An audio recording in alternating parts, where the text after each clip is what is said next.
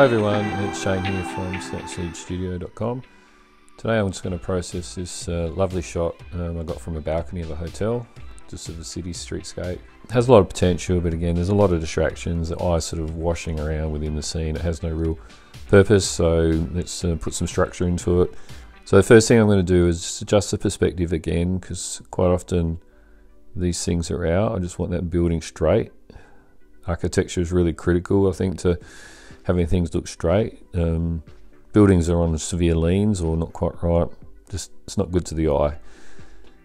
Then I am going to crop out what I don't need. So over here I have um, a lot of on the left hand side I've got some white buildings which I know would be distracting. If I crop into them too much then it's naturally going to pull my eye out. So what I'm going to do is just leave a little bit of shadow in it and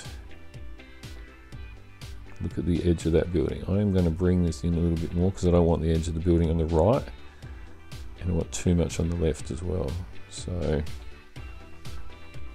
that looks nice. Straight away, your eyes just pulled in. That looks really nice. So the next thing I'll do is I'm just going to have a look at the ambience.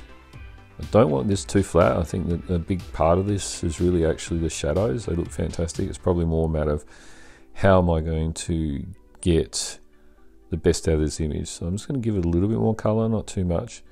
But I will look at the highlights. And that is actually really not good for the image overall. So we're going to leave that alone. And let's have a look at some contrast because I'm not too worried about the shadows. Again, that's affecting the wrong spot. So this might require a little bit more manual manipulation, I think. So it doesn't look like much has really happened at this stage. So if I have a quick look at my tonal contrast, and then I do have a look at the highlights, it's pulling up nicely. I'm pretty happy with that actually. Protect the shadows, pull that up a little bit more. And well, I think with this one here, the, the sky is starting to lose it a bit. So I'm going to try and put a little bit of life back into that. Now, the challenge you have with the, with the brushes in the Snapseed here, particularly if you're doing and trying to underexpose something, is that it's actually quite intense. So it's important that you really consider it on how you're actually adding to it. Again, just trying to pull a little bit more. So yeah, I'm actually happy with that. That's pulling my eye a little bit more. And I am going to put a little bit of detail in this building. Just a little bit. Okay. So, so far that's looking really good. that train down there.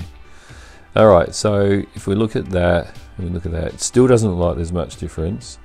But look at the sky now, that's really bringing it in. So I think what I will do is to really draw my eye in a bit more and try and add a little bit more contrast.